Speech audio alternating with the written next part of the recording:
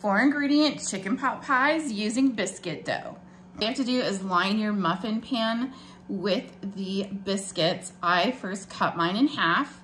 Then you're gonna mix together about a cup of, of cooked shredded chicken or turkey. Add cream of chicken soup, some frozen mixed veggies that have been steamed first.